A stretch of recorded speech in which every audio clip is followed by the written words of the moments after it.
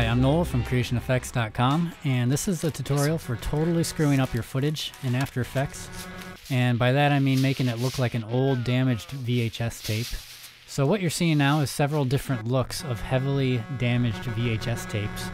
And these were made using Creation VHS Effects, which is an After Effects template that I created. And it has eight finished presets, which are these, which you're watching. So you can just drop in your footage and get this effect. Or you can build your own damaged VHS look. There's lots of effects here, and they're all customizable. And you can see if I open the comp for one of these presets, I've got all these layers here. Each layer is an effect. So to build your own comp, you just copy and paste these layers. And if you want to customize the effect, you just select a layer and then adjust the slider controls in here. So let me show you the main features that it comes with, and then I'll go over how to use the template for those of you who already have it. At the bottom, there's your transition effects. Just drop in your footage and you have 17 finished transition effects to use on the cuts in your video. So here's some samples of that.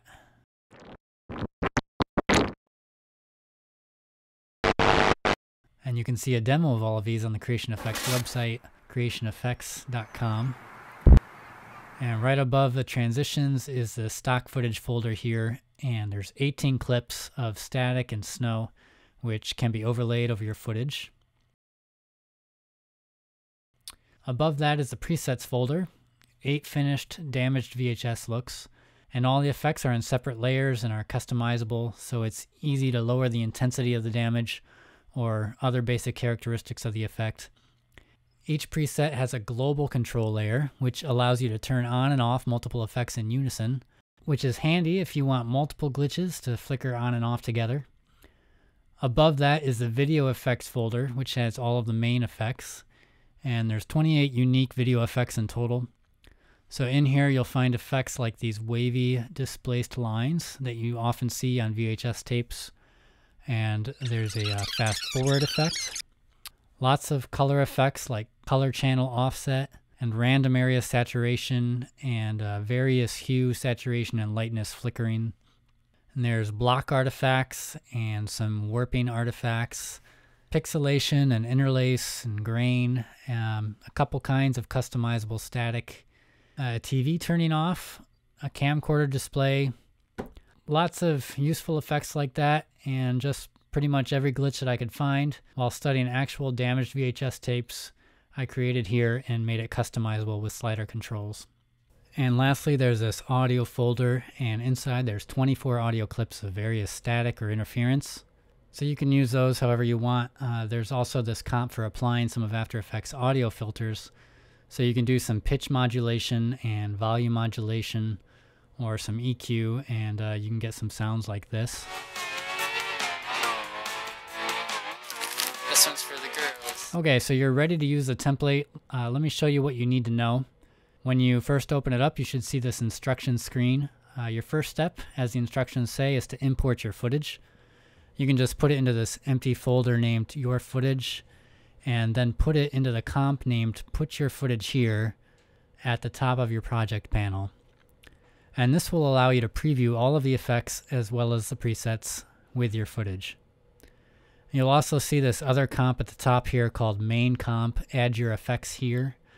And this is where you can build your own damaged VHS comp. Uh, you need to use this comp because it has a control layer in there. And the effects in this template all need a control layer or you'll get a bunch of errors. Also note that uh, most comps have an instructions layer so you can turn that on for helpful notes or instructions. And also individual layers often come with their own instructions on these markers. Uh, I think most effects are pretty self-explanatory, but if you do get stuck, know you can double click the markers and get some instructions on using an effect. Okay, let's walk through the video effects folder first because it incorporates all the principles that you need to know. So just like the folders for the audio effects and the stock footage and the transition effects, I have this preview comp, video effects preview. And you'll always want to open that preview comp because that's where you'll preview your effects and then copy and paste them from there into your main comp. So now you see all these layers. Each one has a different effect. Uh, just unhide a layer and do a RAM preview to test it out. And the layers are color coded. yellow layers are basic copy and paste effects. So you can just copy and paste the layer from here into your main comp uh, above your footage layer. And to customize a yellow layer, just select a layer and then adjust the slider controls in your effect controls panel here. Uh, one quick note about this effect controls panel here. If you have animation presets showing in here, I really recommend hiding those because they take up a lot of room and you're not going to need them. So just go to this triangle icon here and choose hide animation presets and then you'll be able to see as many of the slider controls as possible. So yellow layers are copy and paste effects and blue layers are pre-comp effects. So these were too complex to fit onto one layer so I, I needed to build a separate comp for them. And you can see in your video effects folder there's a folder called pre-comp effects and inside there's a folder for each blue layer or pre-comp effect. And inside each of those folders is a pre-comps folder with a comp named put your footage here. Uh, now, by default, all of these put your footage here comps already have your footage because you put it into the main put your footage here comp up here. So normally, back in your video effects preview comp, you can just turn on these blue layers and see the effect already working with your footage. And you could just copy this blue layer and paste it into your main comp and this could actually replace your existing footage layer since it has your footage inside. So you can see that if I isolate any of these layers, the footage is here. Unlike these yellow layers, which many are just adjustment layers. Alright, so you'll notice that you can't really customize the effect using the slider controls when you select a blue layer. The customization options are actually inside the comp. So you can double click a blue layer or option click in CS3 and it'll open the comp and inside you'll see a red control layer and you can edit the default settings in there. Now let's say you want to use more than one pre-comp effect or blue layer in your comp. You can't just stack them on top of each other because you'll only see the effect that's on top. So that's where these put your footage here pre-comps come into play if I wanted to combine this bottom static and displacement effect with this color channel offset effect, I can open the put your footage here comp of this color channel offset effect and I'll delete the footage layer that's there by default. And so instead of that, I'm going to put my finished bottom and static displacement effect in here. And now you might think that you can open your color channel offset folder and just drag this finished effect into your main comp. And you could do that, but there's a better way that will give you more functionality. So instead, go back to your preview comp and copy the color channel offset folder from there and paste it into your main comp. The reason is these blue layers have expressions on them that point to the global control layer. And if you remember from the beginning, I mentioned that the global control layer can make multiple effects turn on and off in unison. So let me show you how to do that. This is a good feature if, for example, you want to have short bursts of multiple glitches in your video. Uh, to make any effect, yellow or blue, receive the global controls. First, you have to check this checkbox on the layer that says Allow Global Control. And now if you go into your control layer, you can see that there's this checkbox named manual on off switch. So you can use that to turn your effects on and off in unison. And that checkbox can be keyframed too, which is handy. But if you want just random and automatic on-off flickering of your effects, you can use these auto on-off blinking controls. And you'll see these controls in every comp on almost every effect. Uh, it has these minimum and maximum on times and minimum and maximum off times. And these are in seconds. So these let you flicker the multiple effects on and off randomly, but all together with controlled timing. So to use these auto blinking controls, your manual switch must be on and your effects must have the allow global control checkbox checked. And also remember that each effect has its own set of local auto blinking controls, which just affect that layer.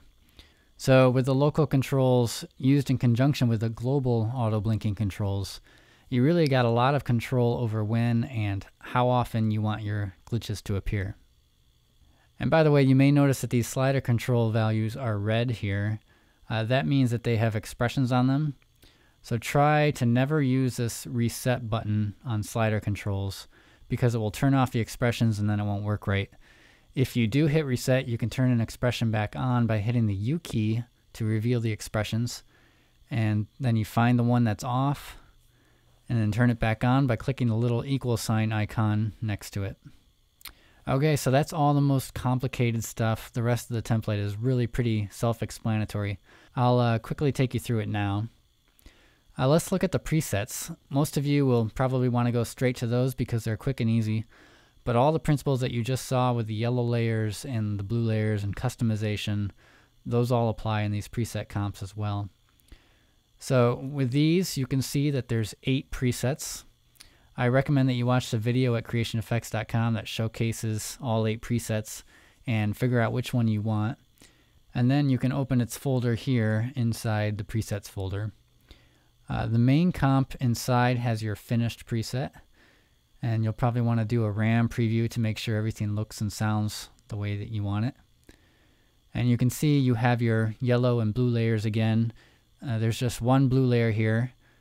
But if you go to the pre-comp effects folder, you can see that there are actually two pre-comp effects used in this preset, and they're combined into this one layer.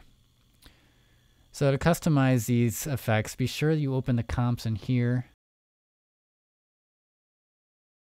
and not in the video effects folder, or just double click the layers directly. Also, remember to set your out point before you render these because these comps are all five minutes long. And allow yourself plenty of time to render, like over lunch or overnight, depending on the, uh, the length of your video. These presets have a lot of effects and can take a while to render. Moving on, I'll open the audio effects folder. You already saw that there's all these audio clips in here.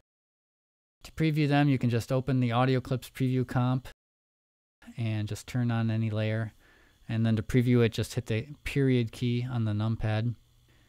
If you want to add filters to the audio in your footage, you can open the audio effects folder and the audio effects comp.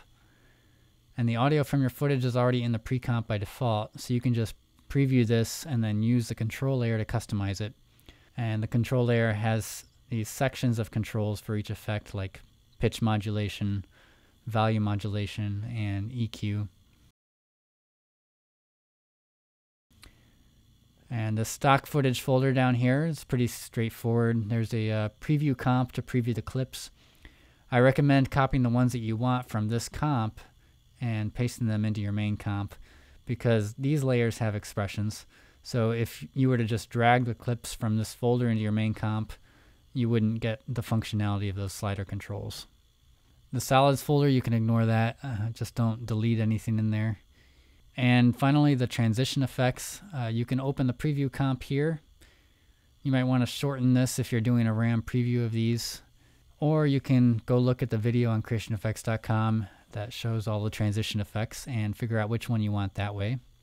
And when you find one, just open its folder and and then the pre-comps folder and the put your footage here comp. And you'll notice that there's a marker at the five second mark here and it says your cut slash edit should occur at this marker. Adjust your footage so that the first frame of your second shot in your edit is showing on this frame. So all we need to do for the transition effects is to put your footage in this comp and then line it up so that the cut occurs right here. And then the finished transition effect will be in this comp and you can just drag that comp to your main comp. So that about does it. I've uh, I've tried to make the highest quality effects out there and in a way where they're easy to use and have all the customization options that anyone could want. You can check out my other templates. I've got digital video glitches and old film effects and lens flares and lots more. And all of my templates follow a similar format as this one. So if you familiarize yourself with one, the others will come naturally. And uh, you can always subscribe to my YouTube channel to get updates when I release new products as well. Anyway, I hope you enjoy the effects and good luck on your project.